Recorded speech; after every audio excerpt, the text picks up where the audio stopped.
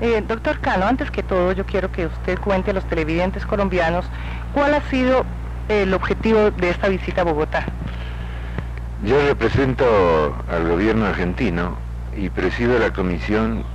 del gobierno que se ocupa de la Conferencia Mundial del Agua,